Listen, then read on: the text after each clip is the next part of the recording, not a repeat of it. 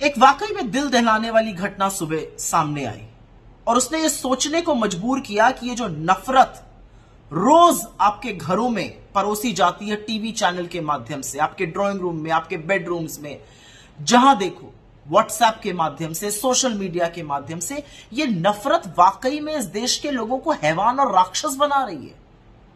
कहाँ ले आई है ये नफरत इस देश को? योगी और मोदी की ये नफरत ने इस देश के लोगों को दरिंदा और हैवान बना के रख दिया जयपुर, मुंबई की एक ट्रेन में आरपीएफ के कांस्टेबल चेतन सिंह नामक व्यक्ति ने अपने वरिष्ठ साथी टीकाराम मीना की और तीन और लोगों की हत्या कर दी।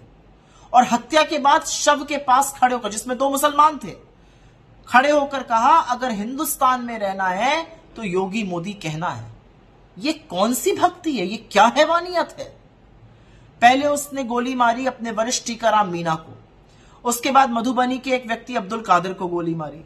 उसके बाद वो पैंट्री में गया, उसने वहाँ पर एक आदमी को मार डाला। उसके बाद वो दूसरे कोच में गया और जयपुर के एक चूड़ी वाले व्यक्ति, चूड़ी बेचने वाले व्यक्ति, असगर काई की गोली मार के हत्या कर दी और वहाँ पर उसने ये कहा कि टीवी चैनल के माध्यम से पता चलता है, वो दिखाते हैं कि पाकिस्तान में आपके आका है और हिंदुस्तान में रहना है तो योगी मोदी कहना है। ये क्या हो गया इस देश में? और कब सोचेंगे हम कि नफरत के चलते हम इस देश में जोम्बीज बना रहे हैं? हम इस देश में चलते फिरते हैवान बना रहे हैं। आज चेतन सिंह था, कल कोई और होगा। इस पर विचार कब होगा?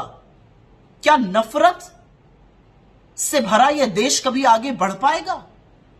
क्या इस कदर नफरत घोलने के बाद इस देश का अस्तित्व बचेगा? आज सवाल सबके सामने यह है। कि ये सिर्फ़ चेतन सिंह की बात नहीं है, या टीकाराम मीणा की बात नहीं, या असगर काई अब्दुल कादिर की बात नहीं है। ये बात है कि अगर संभवता इन लोगों की लड़ाई जो थी वो कुछ समुदाय को लेकर हुई। तो अगर मैं आपके लीडर को नहीं मानूँगा, और अगर मैं योगी की तारीफ़ नहीं करूँगा, या मोदी की बुराई कर दूँगा तो आप मुझे गोली से उड़ा दीजिएगा। अब आप उसको जो भी कह लीजिए, आप कहने वाले कह रहे हैं कि वो मानसिक रूप से परेशान था तो ऐसा व्यक्ति नौकरी पर ही क्यों था?